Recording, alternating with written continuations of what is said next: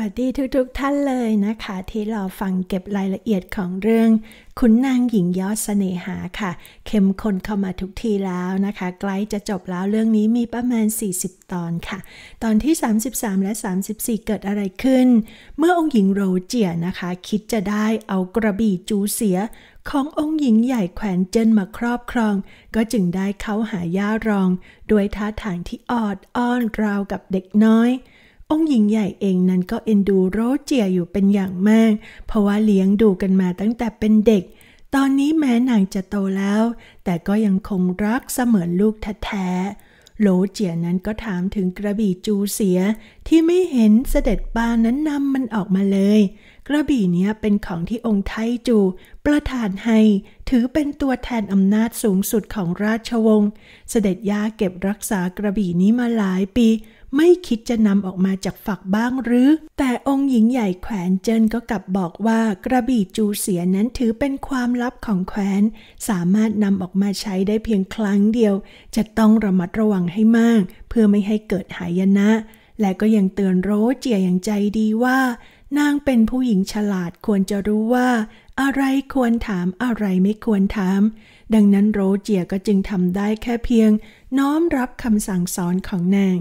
ทางด้านของเซินจิงหงตอนนี้ เขานั้นก็ได้นัดคุยกับซุนอินเซียน เรื่องที่ตระกูลซุนนั้นกระทำการไร้คุณธรรมเอาไว้ แม้เขานั้นจะหนักใจ เพราะนี่ก็คือตระกูลของสหายรักคนหนึ่งของเขา แต่ก็จำเป็นจะต้องหวานล้อม ให้ซุนอินเซียนนั้นยอมช่วยเหลือ เพื่อว่าจะได้เป็นประโยชน์ต่อแผ่นดิน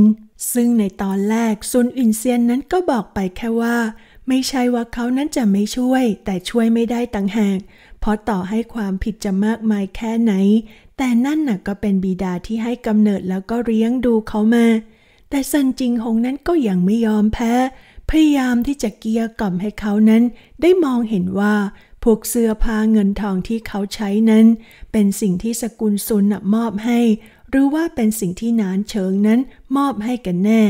ราษฎรทั้งแคว้นกำลังเลี้ยงดูพวกเจ้าอยู่ ดังนั้นน่ะจะคิดถึงประโยชน์ส่วนตน โดยไม่คำนึงถึงคนอื่นหรือไงกัน เขาพยายามพูดอีกมากมาย แล้วก็รับรองว่าหากยอมช่วยเหลือ เขาจะรับรองความปลอดภัยของตระกูลซุนให้เอง เมื่อซุนอินเซียนได้ยินเช่นนี้ก็เริ่มคอยตาม จึงดึงเอาสมุดบัญชีของร้านเทียนซิงร้านค้ารายใหญ่ที่เป็นของสกุลซุนออกมา ให้กับเซินจิงหง เพื่อที่จะให้ใช้เป็นหลักฐานเอาผิดบิดาของตน แล้วก็ยังคงย้ำกับเซินจิงหงอีกครั้งว่า ครอบครัวของเขานั้นจะต้องปลอดภัย ตามที่เซินจิงหงนั้นสัญญาเอาไว้จริง ๆ นะแต่ในขณะเดียวกันนั้นโรเจียเองก็นัดพบกับตายเท้าโจ แล้วก็ยื่นสมุดบางอย่างให้แก่เขาด้วยท่าทางเจ้าเล่ส่วนมูจั่วหัวนางเอกของพวกเราเอง ตอนนี้ก็พบกับตำรานโยบายกำจัดส่วนเกินที่สองของอาจารย์สร้างโซเข้าให้แล้ว และเมื่อนางได้อ่านมันก็ได้เข้าใจในสิ่งที่อาจารย์นั้นต้องการทั้งหมด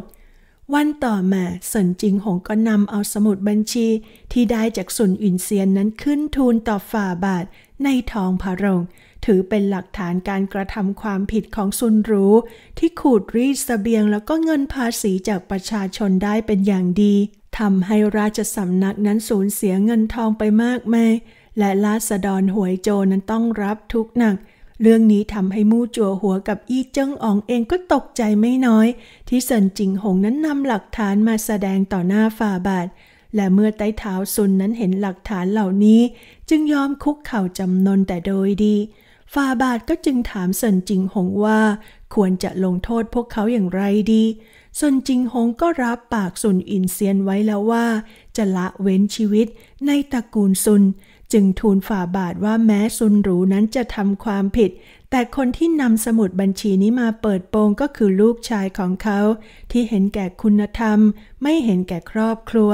และเพราะความดีในอดีตของตระกูลซุนที่ทำเอาไว้ให้บ้านเมือง ดังนั้นจึงไม่ควรละโทษตายนั้นให้แก่พวกเขาฟาบาทเองก็ทำทีจะเห็นด้วย แต่แล้วไต้เท้าโจกับก้าวออกมา มอบสมุดบัญชีที่ได้มาจากโรเจีย ให้ฝ่าบาทนั้นทอดพระเนตร ในนั้นเป็นหลักฐานว่าซุนหลูยังลักลอบขายชาแล้วก็เกลือ ให้ชาวเป่ยเลียงที่เป็นศัตรูกับนานเชิญของเราอีกด้วย ซึ่งเป็นความผิดที่ไม่อาจจะให้อภัยได้ เมื่อฝ่าบาทเห็นเช่นนั้นก็โกรธมาก แม้แต่เซินจิงหงเองก็รู้สึกวิตกไปด้วย เพราะข้อหาที่ไต้เท้าโจนำมาเปิดเผยนั้น ถือว่ารุนแรงมากไม่อาจละเว้นชีวิตได้เลยส่วนจิงหงเองตอนนี้ก็รู้ตัวแล้วว่า เขานั้นโดนซ้อนแผนเสียแล้ว แต่เพราะเขานั้นสัญญากับสุนอินเซียนเอาไว้แล้ว จึงได้พยายามกราบทูลฝ่าบาท ให้เห็นแก่ที่สุนอินเซียนนั้นยอมแฉ เรื่องราวของครอบครัว ดังนั้นฝ่าบาทจึงตัดสินให้ประหารซุนหลูเนรเทศบุรุษตระกูลซุนไปชายแดน ส่วนสตรีในตระกูลก็ให้จัดเข้าสู่สกุลต่ำต้อย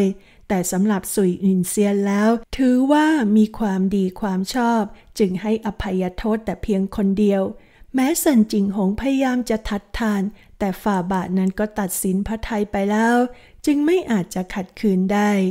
เมื่อออกมาจากท้องพระโรงเซินจิงหงก็มานั่งดื่มเหล้าที่หอหวนเจิงด้วยความเสียใจส่วนอินเซียนนั้นตามมาถึงก็ต่อว่าเขาที่หักหลังไม่ยอมทำตามที่สัญญา เซินจิงหงเองนั้นตอนนี้ก็ละอายแก่ใจยิ่งนัก ไม่เคยคิดมาก่อนว่าผลลัพธ์นั้นจะออกมาเป็นแบบนี้ แม้เขาจะช่วยชีวิตสุนอินเซียนเอาไว้ได้ แต่ทุกคนในครอบครัวของเขากับต้องรับโทษ ไม่เว้นแม้แต่น้องสาวและภรรยาของเขาเซินจิงหงนั้นยอมให้สุนอินเซียนนั้นต่อยหน้า เพราะรู้ตัวดีว่าตนเองทำผิดต่อสหายที่ไว้ใจเขา เขารู้ดีว่าเรื่องนี้ต้องเป็นแผนการขององค์หญิงโรเจียเป็นแน่ ดังนั้นจึงไปยืนรอพบนางที่ศาลาสุขใจ เขาถามนางว่านางสมคบกับสกุลโจพวกนั้นตั้งแต่เมื่อใดกัน เขาเคยขอร้องนางแล้วไม่ใช่หรือให้ไว้ชีวิตซุนอินเซียนและครอบครัว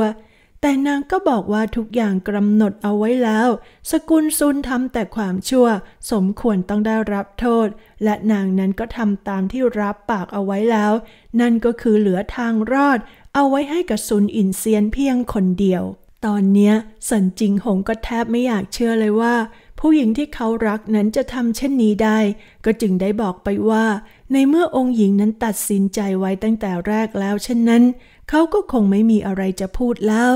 พูดจบก็เดินออกไปทันที มานเอ๋อกระซิบบอกองค์หญิงว่าคราวนี้ดูท่าทางไต้เท้าเซน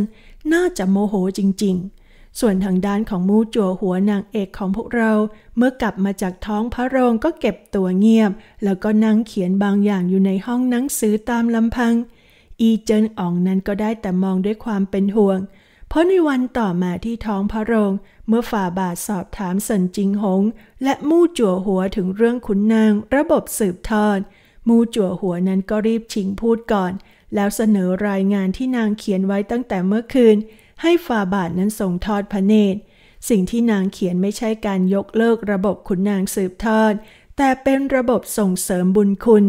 นางอธิบายเพิ่มว่าขุนนางสืบทอดมีมากว่าร้อยปี ช่ว่าจะไม่มีข้อดีเลย ลูกหลานตระกูลขุนนางร่ำรวยล้วนแต่ร่ำเรียนสืบต่อกันมาเป็นทอดทอด เก่งทั้งบุญและบูเหนือกว่าลูกหลานของคนยากจน แล้วก็ได้ช่วยสร้างคุณงามความดีไว้กับราชสำนักไม่น้อย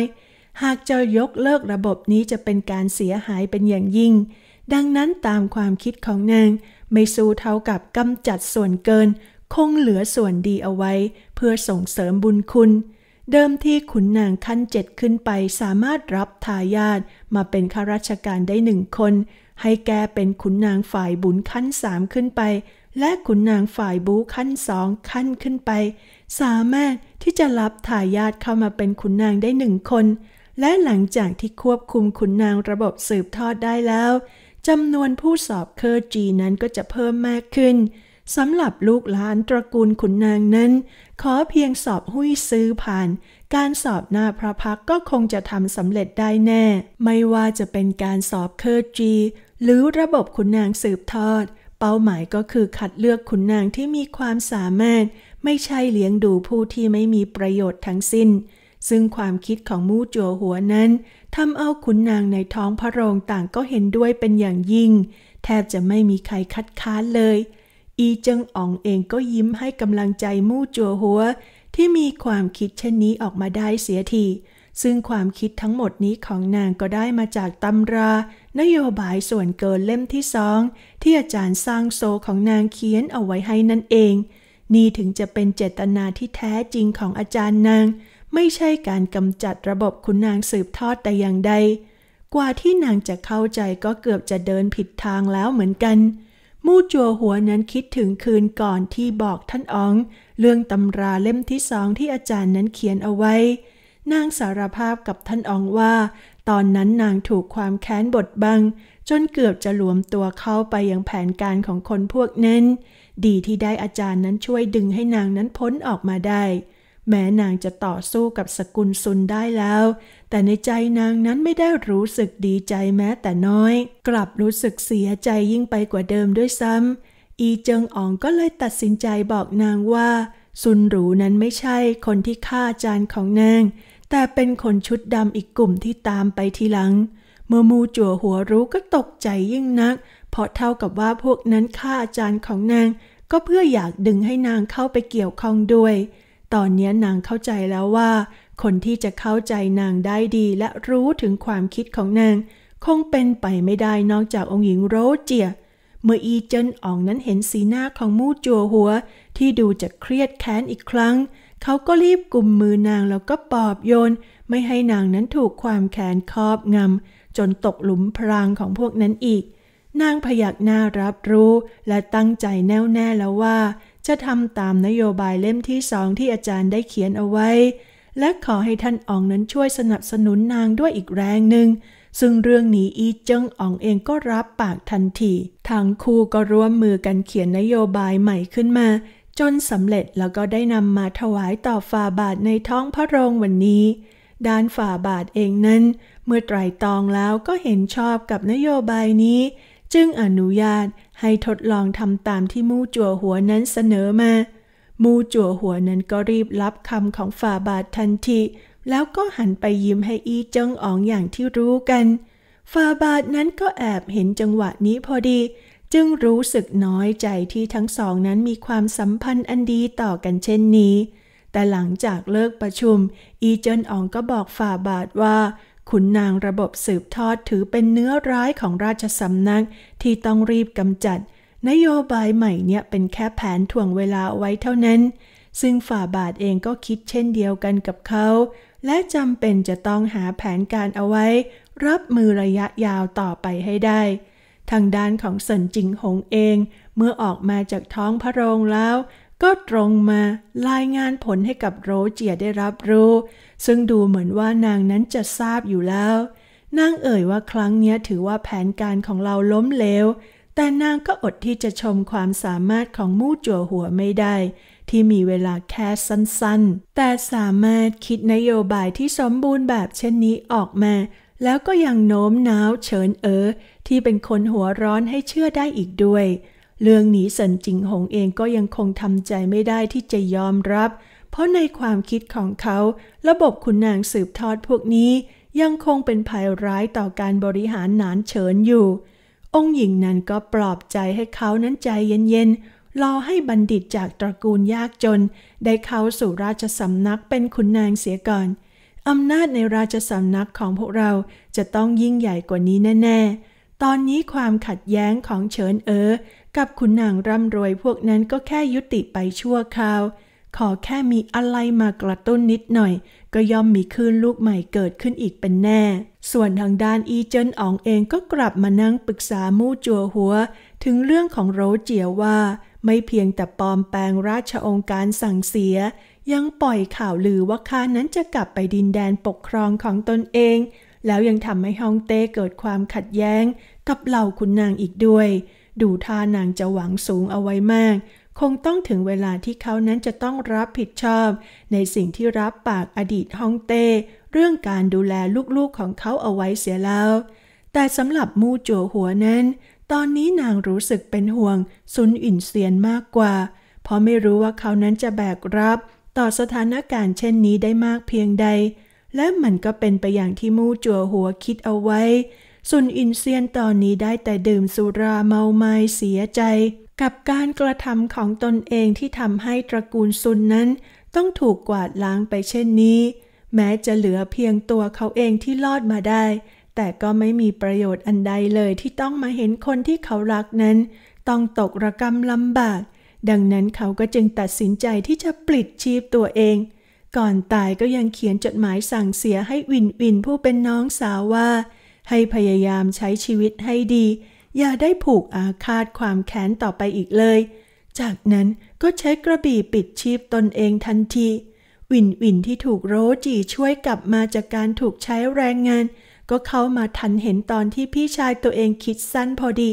ทำให้นางก็ร้องไห้เสียใจอย่างหนัก เพราะนางเองก็หวังว่าจะกลับมาหาพี่ชายที่เหลือกันอยู่เท่านี้ แต่เขานั้นก็กลับจากนางไปเสียแล้ว แม้จะมีจดหมายสั่งเสียจากเขาไม่ให้นางนั้นเครียดแค้น แต่นางนั้นก็ทำใจไม่ได้ แล้วก็ยิ่งถูกโลเจียยุยงว่า ทั้งหมดนี้ล้วนเป็นฝีมือของมู่จัวหัวศัตรูหัวใจของนาง ก็ยิ่งทำให้วินวินนั้นแค้นหนักมากขึ้นกว่าเดิม นางสัญญากับโลเจียว่า จะยอมทำตามที่โรเจียนั้นสั่งทุกอย่าง เพื่อแก้แค้นมูจั่วหัวให้ได้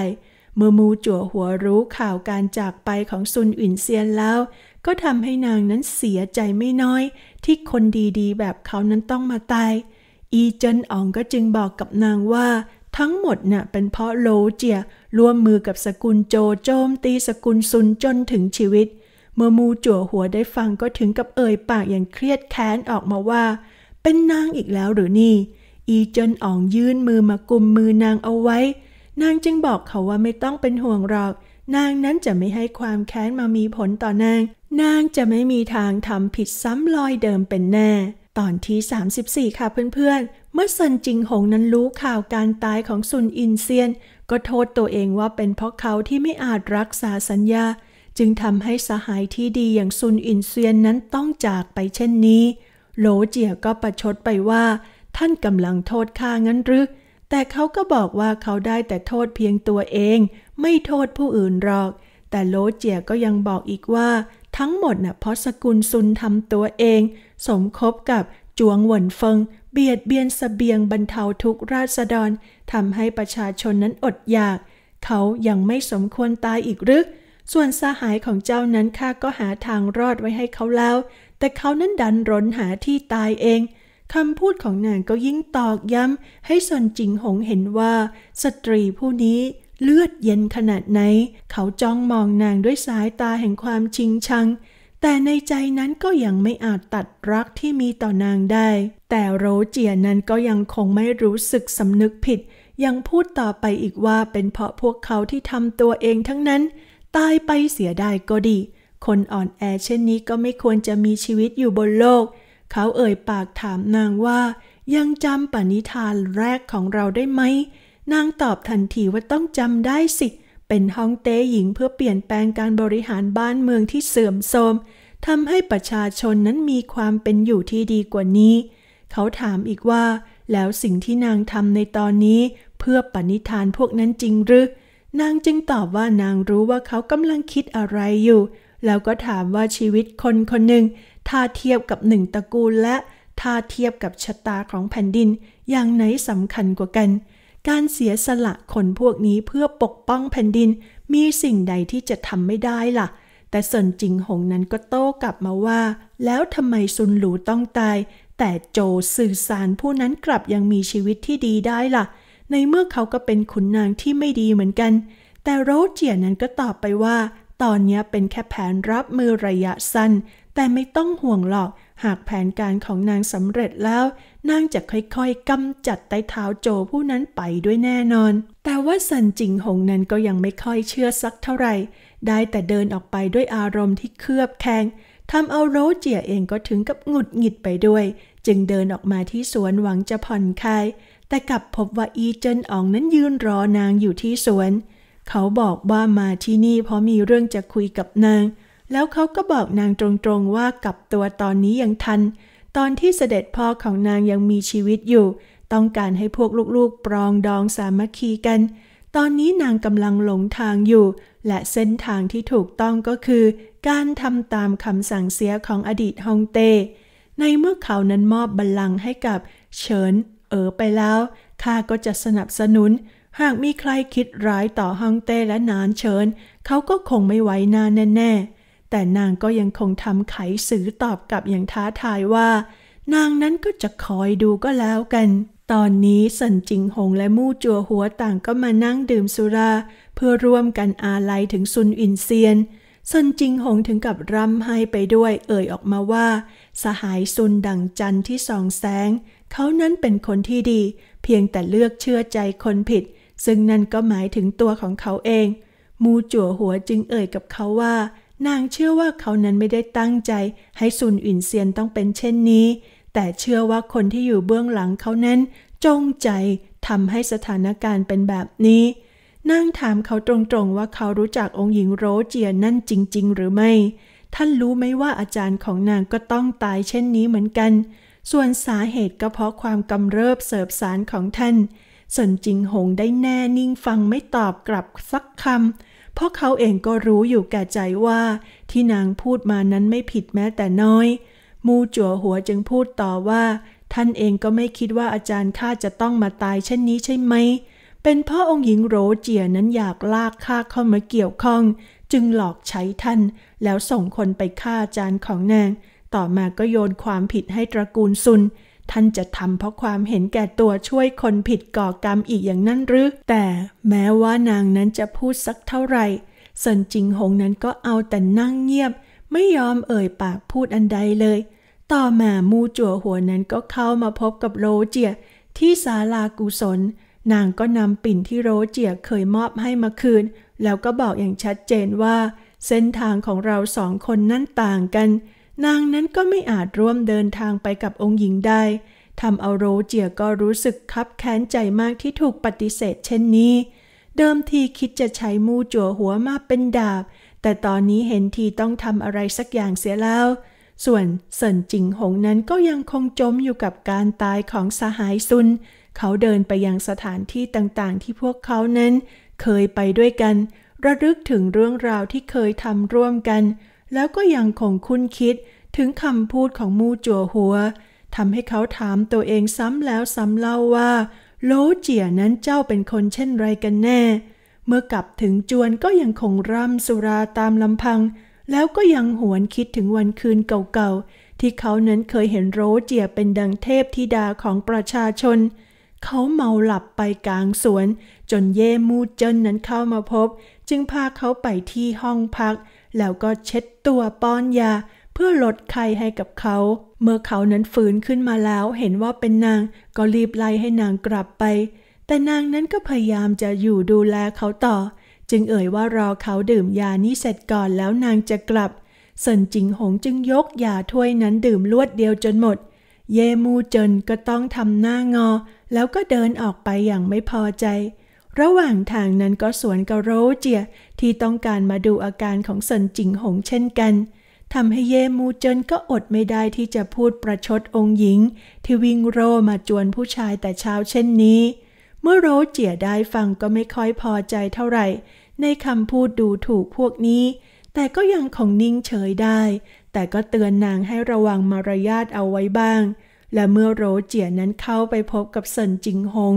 เขากลับไม่สนใจนางเลย มีหนำซ้ำก็ยังไล่นางให้ออกไปอีกคนหนึ่ง แต่แล้วเขากลับสลบไปเพราะพิษไข้ และพอตื่นมาก็พบว่า องค์หญิงโรเจียนั้นกำลังเช็ดตัวลดไข้ให้กับเขาอยู่ นางบอกกับเขาว่าการตายของซุนอินเซียนนั้นไม่ใช่สิ่งที่นางนั้นคิดเอาไว้ตั้งแต่แรก นางรู้ว่าพวกเขานั้นเป็นสหายกัน แม้ไม่คิดถึงซุนอินเซียนก็ต้องคิดถึงเซินจิงหงบ้าง แต่กระนั้นก็ยังไม่ทำให้เซินจิงหงหันมาสนใจนางได้ เขายังคงเบือนหน้าหนี แล้วบอกว่าองค์หญิงสูงส่งนัก อย่ามาเสียเวลากับคนต้อยต่ำอย่างข้าเลย แต่องค์หญิงโรเจียก็ยังคงไม่ยอมแพ้ ยังคงอยู่รอปฏิบัติเขาไม่ยอมห่าง จนเขาเองก็แทบจะใจอ่อนไปกับนาง หลายวันหลังจากนั้น มูจั่วหัวก็เข้าไปถวายงานให้ฝ่าบาท แต่บังเอิญที่นางปวดท้องประจำเดือน จึงทำใจลอยไม่อยู่กับเนื้อกับตัว แต่ฝ่าบาทก็ไม่รู้คิดว่านางนั้นไม่สบาย เลยคิดจะเรียกหมอหลวงให้มาตรวจ แต่ขันทีก็กระซิบบอกทำให้พระองค์นั้นทรงเข้าใจ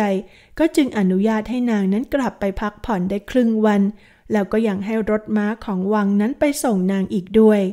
ส่วนเสด็จย่ารองที่คิดว่ากำลังจะกลับแคว้นของนางนั้น ก็มาร่ำลาฮ่องเต้ แล้วก็ยังเปรยว่าเขาเนี่ยน่าจะแต่งงานมีลูกได้แล้ว ไทเฮานั้นก็รีบฟ้องว่า นางพยายามจัดการเรื่องนี้หลายครั้ง แต่ว่าฮ่องเต้เองกลับไม่ทรงโปรดใครเลย เสด็จย่ารองจึงได้ถามฮ่องเต้ไปตรงๆว่า หรือเขานั้นมีใครอยู่ในใจอยู่แล้วทำเอาฮ่องเต้แทบจะสำลักชา เมื่อถูกจับจุดอ่อนได้ มานเอ๋อที่อยู่ข้างกายไทเฮาก็แอบสังเกตอาการนี้ของเขา แล้วก็จึงนำเรื่องพวกนี้ไปบอกแก่องค์หญิงโรเจียทำให้องค์หญิงโรเจียประเมินได้ว่า เฉินเอ๋อนั้นคงจะแอบชอบมู่จั่วหัวอยู่เป็นแน่ จึงคิดจะใช้เรื่องของมู่จั่วหัวนี่แหละ มาทำให้เฉินเอ๋อกับอีเจิ้นอ๋องแตกหักออกจากกัน วันต่อมาโรเจียก็จึงเข้าไปปนิบัติเสด็จย่ารอง แล้วก็เล่าเรื่องมู่จั่วหัวให้ฟัง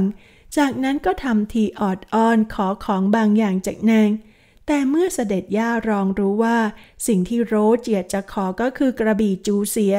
นางก็ออกปากปรามอีกครั้งว่ากระบี่จูเสียเป็นอาวุธคู่แผ่นดิน จะนำออกมาใช้ยามที่แผ่นดินนั้นเกิดวิกฤตเท่านั้นโหลเจียก็พยายามบอกเหตุผลว่าตอนนี้ตระกูลขุนนาง รวบรวมอำนาจยังไม่ถือว่าเป็นวิกฤตอีกหรือ เสด็จย่าจึงถามอย่างสงสัยว่า เจียวเจียวของนางสนใจ เรื่องในราชสำนักตั้งแต่เมื่อไรกัน โหลเจียก็เลยอ้างว่านางนั้นก็เป็นราชวงศ์เหมือนกัน จะสนใจเรื่องบ้านเมืองบ้างก็สมเหตุสมผลอยู่มิใช่หรือ พอเสด็จย่ารองได้ฟังก็เหมือนจะคิดอะไรบางอย่างออก จึงถามอย่างตกใจว่า เจ้าอยากได้ตำแหน่งนั่นงั้นหรือ โลเจียก็บอกตามตรงว่าความรู้เรื่องการปกครองบ้านเมือง เป็นเสด็จยาที่สอนนางมาเองมิใช่หรือ ท่านเองก็น่าจะรู้ดีว่า หากเทียบกับความสามารถข้านั้นเก่งกว่าเฉินเอ๋อด้วยซ้ำเสด็จยาก็ถึงกับสายหัวให้กับเหตุผลของนาง บอกว่าที่นางสอนเรื่องบ้านเมืองก็เพราะ อยากให้ลูกหลานนั้นรู้เหตุผลเอาไว้ นั่นไม่คิดเลยว่าจะช่วยเพิ่มความคิดลบๆพวกนี้ให้กับ เจ้า แต่โรเจียนั้นก็รีบถามทันทีว่า นางมีความคิดเช่นนี้มันผิดตรงไหนกัน เสด็จยาก็ยิ่งตกใจหนักมากที่นางไม่รู้ถึงความผิดของตนเอง แล้วตอบว่านั่นมันเป็นหนทาง แห่งความไม่เที่ยง ดูเหมือนมีเกียรติที่ไม่เป็นรองใครแต่ความจริงแล้วเต็มไปด้วยอันตราย แต่โรเจียก็ยังคงเถียงต่อว่า พวกทรราชต่างหากที่จะต้องตกอยู่ในอันตราย นางจะต้องเป็นผู้นำที่ชาญฉลาด แล้วก็ได้รับการสนับสนุนจากขุนนางและราษฎร แต่ถึงอย่างไรเสด็จย่าก็ยังคงไม่ยอมจะให้นางไปเสี่ยงอันตรายเช่นนั้น อยากให้นางเป็นแค่องค์หญิงที่อยู่อย่างสุขสบายไปวันๆก็เพียงพอแล้ว แต่ว่าโรเจียก็ยังคงไม่ยินยอม บอกว่านางนั้นแค่ต้องการตำแหน่งนั่นจึงขอให้เสด็จย่าประทานกระบี่จูเสียให้นางด้วย องค์หญิงใหญ่แขวนจนถึงกับลุกขึ้น แล้วบอกอย่างชัดเจนว่าไม่มีทางแน่นอน จากนั้นก็ดุโรเจียด้วยความโกรธที่มีความคิดเช่นนี้จนไออย่างหนัก เจียวเจียวก็จึงรีบเข้าไปปฏิบัติแล้วก็ยกน้ำชาให้นางดื่ม จากนั้นก็ได้ขอร้องให้ทางด้านขององค์หญิงนั้นกลับเจียงหนานไป พร้อมกับนางเสียจะได้ไม่ต้องคิดทำเรื่องเช่นนี้อีกต่อไป แต่โลเจียนั้นก็บอกว่าตนเองไม่มีทางหันหลังกลับเป็นแน่ นางก็แค่อยากอยู่ติ้งจริงดูแลท่าน เมื่อเสด็จยาได้ยินเช่นนี้ก็เริ่มรู้สึกเวียนศีรษะ แล้วก็อ่อนเพลียอย่างกระทันหัน จึงรู้ได้ทันทีว่าโรเจียนั้นได้ใส่ยาอะไรบางอย่างลงไปในชาให้นางดื่ม เป็นแน่ นางไม่เคยคิดเลยว่าหลานสาวที่นางเลี้ยงดูมาตั้งแต่เด็ก จะวางยานางได้ลงคอ แต่โลเจียก็บอกว่าให้นางนั้นวางใจได้ ยานั้นไม่ได้มีพิษอะไรหรอก เพียงแต่จะทำให้อ่อนแรงเท่านั้น เพื่อที่เสด็จยานั้นจะได้อยู่รักษาตัวที่ติ้งจริงต่อ วันต่อมามู่จัวหัวนั้นก็ไปส่งท่านพ่อกับท่านแม่ใหญ่กับหวยโจ เพราะว่าครบกำหนดการขังคุกแล้ว พวกเขาต่างก็ขอบใจมู่จัวหัวที่ช่วยเหลือ แม่ใหญ่สัญญาว่าแม้นางนั้นจะช่วยอะไรไม่ได้มาก แต่จะคอยเฝ้าดูบิดาของนางเอาไว้ ไม่ให้ไปก่อเรื่องอีก และเมื่อส่งทั้งคู่ไปแล้ว มู่จัวหัวนั้นก็เดินกลับจวนพร้อมกับติ้งออง ระหว่างทางก็เห็นคู่สามีภรรยาอาวุโสที่ประคองกันมาซื้อของกินของใช้ พอพวกเขาดูแล้วก็รู้สึกอิจฉามาก คิดอยากจะครองคู่กันจนผมขาวแก่ไปด้วยกันเช่นนี้บ้าง มูจั่วหัวถึงกับคิดในใจว่า จะให้สถานะแก่ท่านอองบ้างจะดีไหมทางด้านของโรเจียหลังจากที่จัดการกับเสด็จย่ารองแล้วก็หันมาให้ความใส่ใจกับอินอินเพื่อหวังที่จะนำนางมาใช้ประโยชน์ ตอนนั้นเย่มูเจิ้นก็เข้ามาพอดี แล้วก็ทำท่าไม่ค่อยพอใจพวกนางสักเท่าไหร่ แต่โลเจียนั้นก็ยังคงใจเย็นต่อการแสดงออกของเย่มูเจิ้นแล้วก็บอกว่าพวกนางต่างก็อาศัยอยู่ในจวนของตน ควรจะร่วมมือกันเอาไว้ดีกว่า ต่างก็เป็นคนกันเองทั้งนั้น มูเย่มูเจิ้นก็เอ่ยออกมาเบาๆว่า ใครเป็นคนกันเองกับท่านกันโหลเจียยังคงยิ้มรับแม้จะไม่ค่อยพอใจ จากนั้นก็หยิบเอาสร้อยไข่มุกใต้กล่องเครื่องประดับของนางออกมาสวม ให้กับเย่มูเจินบอกว่าสร้อยมุกเนี้ยเหมาะกับนางมากๆ แล้วก็บอกว่าพรุ่งนี้เป็นงานเทศกาลไหว้พระจันทร์ เจ้าเองนั้นก็จะเสียหน้าไม่ได้ จากนั้นโรเจียก็ขอตัวออกไปก่อน เพื่อจะไปดูแลเสด็จย่ารองที่ตอนนี้นอนเป็นผักอยู่บนเตียง เพราะฤทธิ์ยาของนาง โหลเจียยังคงเข้าไปขอกระบี่จูเสียจากเสด็จย่าเช่นเคย แต่องค์หญิงใหญ่แขวนเจิ้นนั้นก็ยังคงเตือนนางไม่ให้หลงผิดเช่นนี้อีกต่อไป โหลเจียก็ยังคงไม่ยอมรับว่าตนเองนั้นหลงผิด เพราะเมื่อก่อนเสด็จย่ารองเป็นคนที่มีความสามารถที่สุด เพียงแต่ไม่มีความกล้าหาญที่จะก้าวขึ้นไปได้ ในตอนนั้นน่ะทัดห่างจากตำแหน่งนั่นแค่ก้าวเดียวเท่านั้น แต่นางไม่เหมือนเสด็จย่า